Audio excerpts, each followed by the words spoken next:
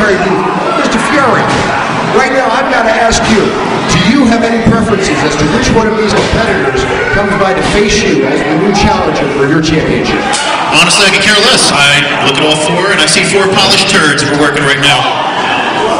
You know, I did notice one particular uh, curious thing where the referee, Miller, seemed to be a little more friendly with somebody in the ring. Uh,